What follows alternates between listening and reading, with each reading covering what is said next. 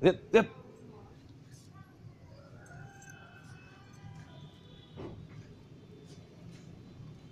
Ca, ca, cắn vào cổ.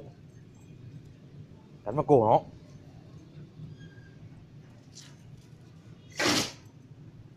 Sợ rồi. Nó nghiêm túc này Đứt này